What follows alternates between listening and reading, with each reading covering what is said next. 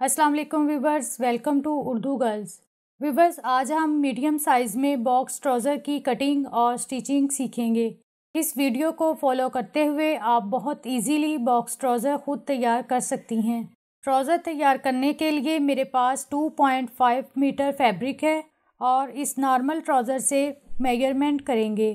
कपड़े को लंबाई में फैलाएँ, किनारी वाली साइड अपनी तरफ़ रखें और लंबाई में ही डबल कर लें। ऊपर से 2.5 इंच मार्क करके इलास्टिक फोल्डिंग के लिए छोड़ दें और लाइन ड्रा कर लें। आप ट्राउज़र से लंबाई मेजर करें। 37.5 इंच ट्राउज़र की लंबाई है। विवस ख्याल रहे कि हम पहले ट्राउज़र की फ्रंट साइड की कटिंग करेंगे।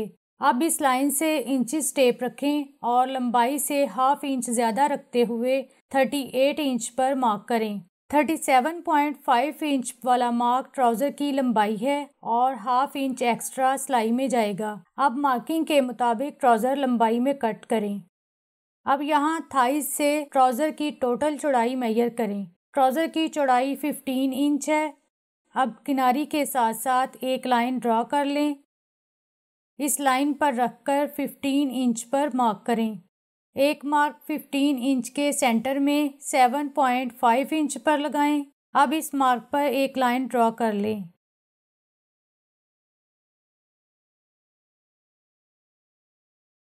चौड़ाई में से एक्स्ट्रा कपड़ा कट कर दें। व्यूवर्स अब ये हमारे पास ट्राउज़र की फ्रंट साइड की लंबाई और चौड़ाई है। एक लाइन सेंटर वाले मार्क के मुताबिक ड्रॉ करें।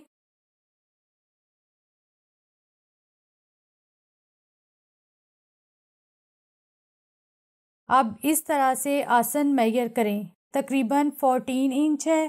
फ्रंट आसन हम कम रखते हुए 12.5 इंच पर मार्क करेंगे, क्योंकि बैक साइड की आसन हमें टू इंच ज़्यादा रखनी है। टू इंच पर लाइन लगाएँ और इस तरह से स्क्वायर बना लें। यहाँ से हल्की सी गुलाई कर लें। विवर्स बॉक्स ट्राउज़र का पाइचा मोस्टली टेन इंच रखा जाता है। इसलिए सेंटर वाले मार्क के मुताबिक दोनों साइड से फाइव फाइव इंच मार्क करें। अब इस मार्क को बिल्कुल सीधा ड्रॉ करते जाएँ और ऊपर से आसन से अटैच करें। व्यूवर्स आपकी आसानी के लिए बताती चलूँ कि मैंने 14 इंच तक बिल्कुल स्ट्रेट लाइन ड्रॉ की है। इसके बाद आहिस्ता आहिस्ता बाहर की तरफ़ लाते हुए आसन से मार्किंग अटैच कर दें। इस मेथड को फॉलो करते हुए आप किसी शेप, स्केल के बगैर ही ट्राउज़र की अच्छी शेप दे सकती हैं। अब इसी तरह से बाहर वाली लाइन भी 14 इंच तक बिल्कुल स्ट्रेट ड्रॉ करें। फिर आहिस्ता आहिस्ता बाहर की तरफ़ ले आएँ। आसन वाली लाइन तक ख़त्म कर दें। अब मार्किंग के मुताबिक कट करें। कटिंग में हम सिलाई की गुंजाइश नहीं रखेंगे, क्योंकि सिलाई की गुंजाइश के लिए कपड़ा हम ट्राउज़र की बैक साइड में रखेंगे। बस ख्याल रखें कि ये बाहर वाली मार्किंग की कटिंग हम बैक साइड के साथ करेंगे। आप ट्राउज़र की बैक साइड के लिए भी कपड़े को लंबाई में रखें। टू इंच पर मार्क करके एक लाइन ड्रा करें। आप ट्राउज़र की फ्रंट ऊपर फैलाएँ। साइड से किनारी बराबर करके रखें और ऊपर से मार्किंग के ऊपर रखें। अब आसन की इस लाइन को सीधा ड्रॉ करें। अब फ्रंट साइड से 2.5 इंच एक्स्ट्रा रखते हुए एक लाइन लगाएँ। यहाँ फ्रंट आसन की गुलाई से भी 2.5 इंच एक्स्ट्रा रखकर मार्क लगाएँ और हल्की सी गुलाई इस मार्क पर ख़त्म कर दें। आप ट्राउज़र की फ्रंट साइड के मुताबिक 2.5 इंच बढ़ाकर इस शेप में मार्किंग करें।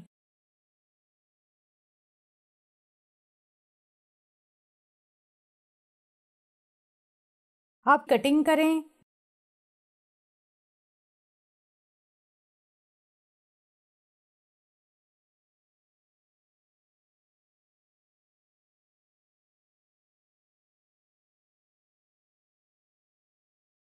यहाँ से ये कोना ख़त्म करते हुए हल्की सी गुलाई कर दें, ताकि ये कोना बाहर की तरफ़ वाजिया ना हो।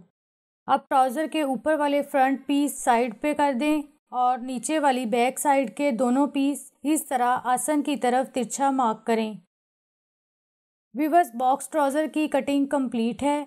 अब हम ऊपर के दो पीस उठाकर आसन से स्टिच करेंगे। यहाँ से कटिंग के मुताबिक गुलाई करते हुए इस मार्क पर सिलाई स्टॉप कर दें। व्यूवर्स, ये मार्क तकरीबन वन इंच पर मैंने स्टॉप किया है। आसन की सिलाई हमेशा डबल लगाया करें। अब बैक साइड के पीस लें और आसन की सिलाई लगाएँ। बैक साइड की सिलाई भी इस मार्क तक स्टॉप करें और डबल कर लें। बैक साइड खोलें और फ्रंट साइड ऊपर फैलाकर रखें। साइड की सिलाई लगाएँ।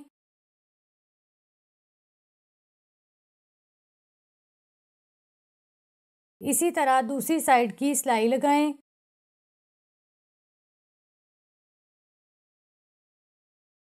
व्यूवर्स, पहले हमने आसन की सिलाई लगाई, फिर साइड की सिलाई लगाई। अब साइड की दोनों सिलाइयाँ फ्रंट साइड पर पलटते हुए प्रेस करें। अब पाइचा की फोल्डिंग के लिए 3.5 इंच चौड़ी पट्टी कट करें। व्यूवर्स, कोशिश करें कि कैप्री हो या ट्राउज़र हमेशा पाइचा वाला कपड़ा अलग से लगाएँ। अब इस तरह से पट्टी लगाते हुए भी ख्याल रखें कि साइड की सिलाई फ्रंट साइड पर रहे। एक सिलाई किनारी पर लगाएँ।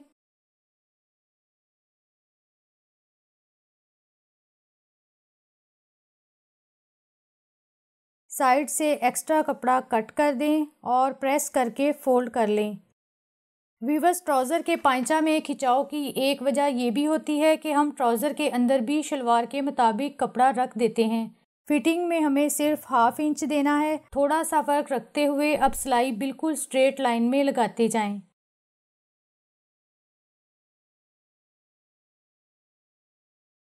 यहाँ मार्किंग की बिल्कुल भी ज़रूरत नहीं, क्योंकि हमें कटिंग की शेप के बिल्कुल साथ साथ सिलाई लगानी है और दूसरी साइड की सिलाई भी यहाँ ही लाकर ख़त्म करें। अब आसन दोनों साइड से इस तरह पकड़ें और सिलाई लगाएँ।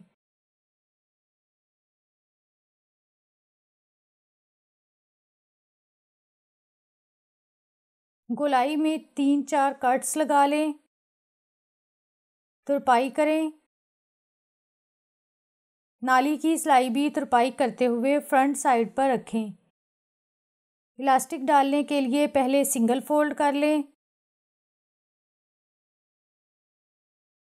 फ्रंट साइड के सेंटर में टेन इंच पर मार्क करें। फिफ्टीन इंच इलास्टिक लें, यानी टोटल थर्टी इंच लंबाई हो। सेंटर से स्टिच करें।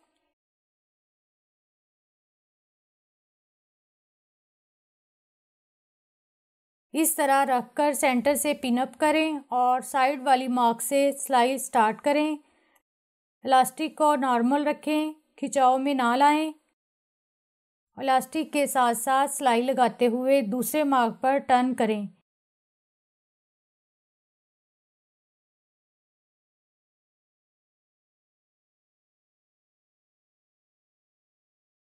अब सेंटर की सिलाई लगाएँ।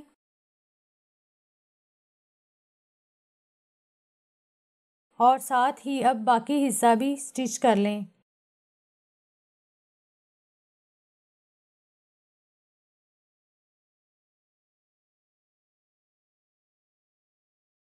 अब इलास्टिक की चुनट बराबर करें।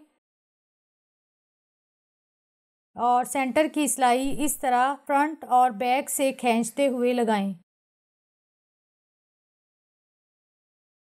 बॉक्स ट्राउज़र की स्टिचिंग कंप्लीट है। व्यूवर्स, हम ट्राउज़र की स्टिचिंग तो अच्छे से कर लेते हैं, लेकिन प्रेस करते हुए क्रीज सेट नहीं करते। तो इस तरह से बाहर वाली सिलाई को सेंटर में करते हुए प्रेस करें। अंदर वाली सिलाई इस तरह साइड पे आएगी।